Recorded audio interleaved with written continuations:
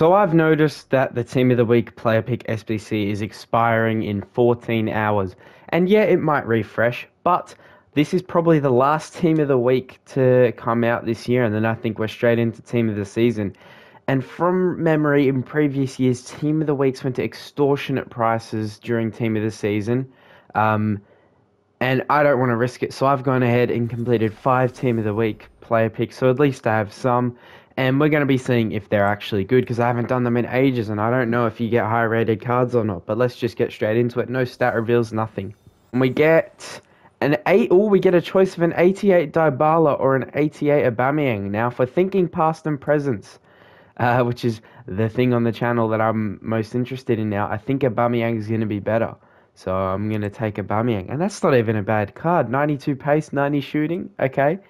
Next one. Can we get something just as good? Not quite. We'll go. We'll go Demarcos, not Piątek.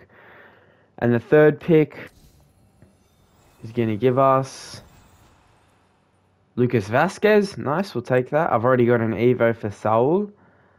To be fair, so far, very decent rating wise. Fourth pick is. Oh, I should have taken Dybala. There we go. There's another Aubameyang. We get Mateo.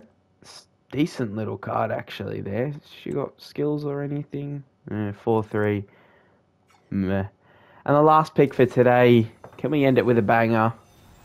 Uh, we'll take Alejandro Garnacho.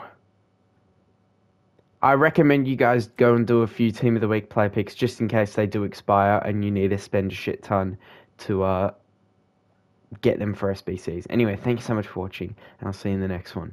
Bye bye.